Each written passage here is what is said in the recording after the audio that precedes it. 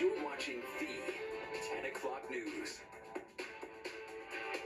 The 20th annual Persian Day Parade took place down Madison Avenue today.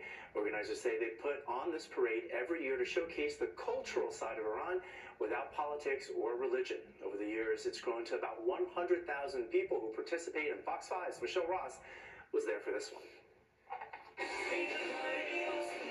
The Persian Day Parade in New York City is a day to celebrate the rich cultural history of the Persian people, the people of Iran, without any connection to politics or religion. Everybody put the government of Iran and the people of Iran in the same pot. We are saying that, okay, different than the government. The parade proudly takes place under both the American flag and the ancient Iranian flag, which displays a lion and sun in the middle.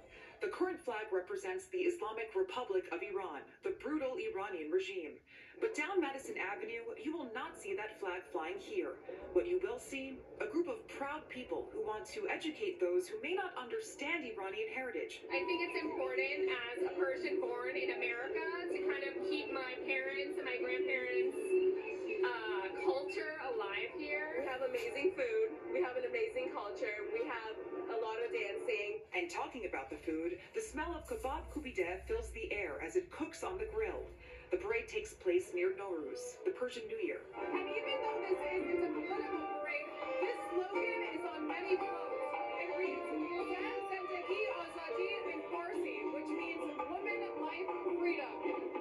protest movement began in 2022 after the death of Iranian woman Mahsa Amini, who died at the hands of Iran's morality police for improperly wearing her hijab. The whole time I was, I was tearing up. They did such a beautiful job, and really, um, I hope we get somewhere.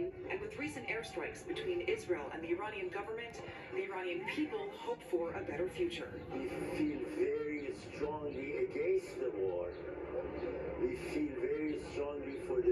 People of both countries to live in peace and in dignity. No one knows when that will be, but by keeping traditions alive through music, food, and countless other ways, they are optimistic for better days ahead. Reporting on Madison Avenue, Michelle Ross, Fox 5 News. All right, well, nice days are ahead, mostly. Liv Johnson's going to be back with a full forecast right after the short break.